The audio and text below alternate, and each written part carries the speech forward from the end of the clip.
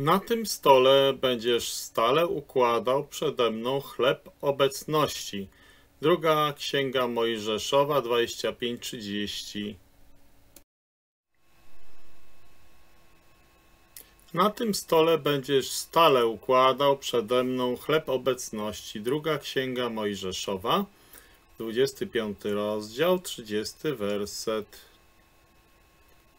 Stół z chlebem obecności.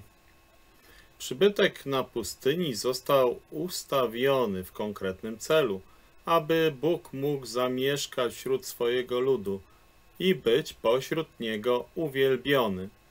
A na tym stole będziesz przed moim obliczem układał zawsze chleb oblicza. Tak mówi Słowo Boże w Księdze Wyjścia, 25 rozdział, 30 werset, druga Mojżeszowa 25-30.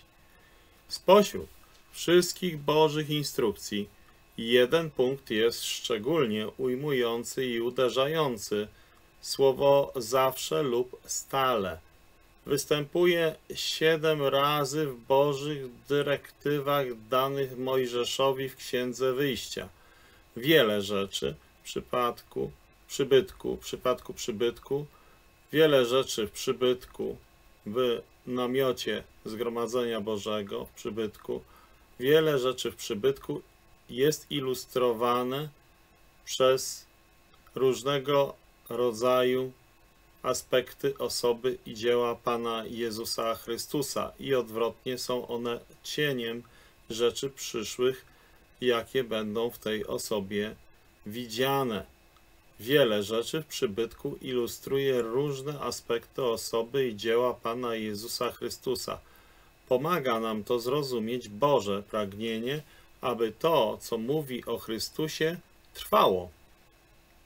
Jeśli chodzi o stół z chlebem obecności z dzisiejszego właśnie fragmentu, to znaczy tego, który czytałem na początku, na tym stole będziesz stale układał przede mną chleb obecności, druga księga Mojżeszowa 25-30, to jeśli chodzi o właśnie ten stół z chlebem obecności, to bochenki lub placki na nim umieszczone były wypiekane z drobnej mąki i pokrywane czystym kadzidłem najlepszej mąki pszennej i upiecz z niej dwanaście bochenków. Tak mówi Słowo Boże zapisane w trzeciej Księdze Mojżeszowej 24:5. Mąka ta symbolizuje ludzkie doskonałości Chrystusa jako owoc ziemi. Dwanaście placków przedstawia cały lud Boży, tak jak Bóg go widzi, odzwierciedlając Chrystusa. Placki te zostały umieszczone w dwóch rzędach po sześć. Tak, w trzeciej Mojżeszowej 24:6 o tym napisano. Na czystym stole sporządzonym według instrukcji Bożych i ustawione tam przed Panem nieustannie. Tak mówi z kolei werset 8, czyli trzecia Mojżeszowa 24:8. Spróbujmy zastosować te rzeczy do nas dzisiaj. Wszyscy prawdziwi, narodzeni na nowo chrześcijanie należą do ludu Bożego. Bóg ma przyjemność widzieć Chrystusa w niebie, który odzwierciedla się w i przez Jego lud, który otrzymał nową naturę i mieszka w nim Duch Święty. Stół, kolejny typ Chrystusa jako opiekuna ludu Bożego, podtrzymuje placki z chlebem oblicza umieszczone w, obecności Boga na pamiątkę przed Nim. Placki przypominają mu o pięknie Chrystusa, gdy był na ziemi.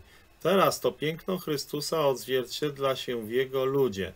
Bóg pragnie, aby to trwało aż do ponownego przyjścia Pana Jezusa Chrystusa. Ponadto co tydzień, bezpośrednio przed niedzielą, te placki były zastępowane przez świeże, podczas gdy te, które stały tam w ciągu tygodnia, które właśnie, yy, który właśnie minął, który właśnie minął, stały się pokarmem dla kapłanów. Tak, dla kapłanów. To, co jest pokarmem dla Boga, dla Jego zadowolenia staje się pokarmem dla Jego kapłańskich synów. Jest to cudowny przywilej, który mamy właśnie w czasie zgromadzeń do imienia Pana Jezusa Chrystusa.